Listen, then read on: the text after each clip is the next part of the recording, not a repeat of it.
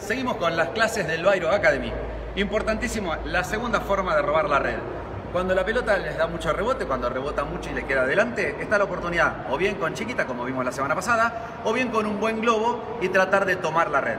Lo más importante en ese globo es tratar de tirarlo al centro de la cancha y lo más alto posible. Vamos a verlo a Maxi ahora, como él en este peloteo, al principio va jugando siempre sobre el rival y una vez que tiene la oportunidad de jugar el globo, como en este caso la pelota le da mucho rebote, con ese globo sí se viene para adelante y anticipa el tiro de la bandeja del rival. Como decíamos anteriormente, lo más importante es que el jugador, una vez que tira el globo, sea alto, profundo, ¿sí? y que ese globo le quede a la altura de la T en la pista para poder tener el tiempo suficiente y poder bloquear ese tiro tan importante. Esta es una forma difícil de tomar la red, pero seguramente muchas veces lo hacen y lo habrán visto. Practíquelo, que seguramente le saldrá muy bien y en su próximo partido estos puntos le darán algunos ganados.